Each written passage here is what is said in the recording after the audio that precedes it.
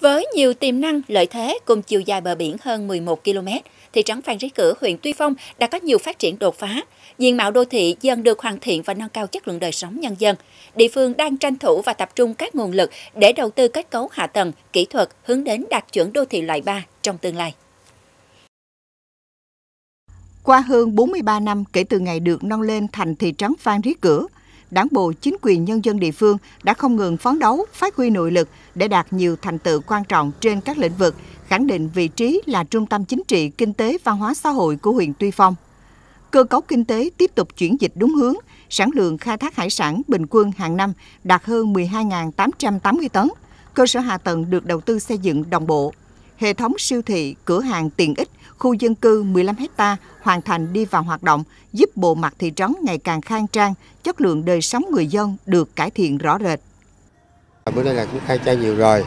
xây dựng hạ tầng nó cũng đầy đủ, à, không có thiếu thốn gì nữa. Cơ sở vật chất đồ ở đây là rất là ổn định rồi đó, tại à, bữa nay cuộc sống nó thấy tốt hơn rồi. Thì cái tình hình ở đô thị của địa phương cũng phát triển xây dựng rất là nhiều. À, đối với nhà dân xây dựng kể cả các công ty ờ, đầu tư ở đây thực hiện nghị quyết số 07 của Ban chấp hành Đảng bộ tỉnh khóa 12 về xây dựng và phát triển đô thị đến năm 2020 trên địa bàn huyện Tuy Phong đã đạt được nhiều kết quả quan trọng. Đặc biệt, thị trấn Phan Rí Cửa từng bước được đầu tư cơ sở hạ tầng kỹ thuật, cải tạo cảnh quan môi trường đô thị,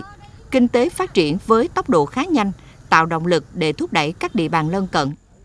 Ủy ban Nhân dân huyện Tuy Phong đã có quyết định phê duyệt đồ án quy hoạch phân khu trung tâm đô thị thị trấn Phan Rí Cửa, tầm nhìn đến năm 2025 sẽ trở thành đô thị loại 3. Địa phương cũng xác định tập trung phát triển mạnh thương mại dịch vụ, đẩy mạnh khai thác hải sản, tập trung phát triển kết cấu hạ tầng, cơ bản hoàn thiện các tiêu chí đô thị loại 4 và phấn đấu đạt các tiêu chí đô thị loại 3. Tỉnh và Trung ương quan tâm, thứ nhất là các tuyến đường giao thông đối ngoại như là đường à, Hòa Thắng Hòa Phú, hai là huyện cũng đã bố trí kinh phí hàng năm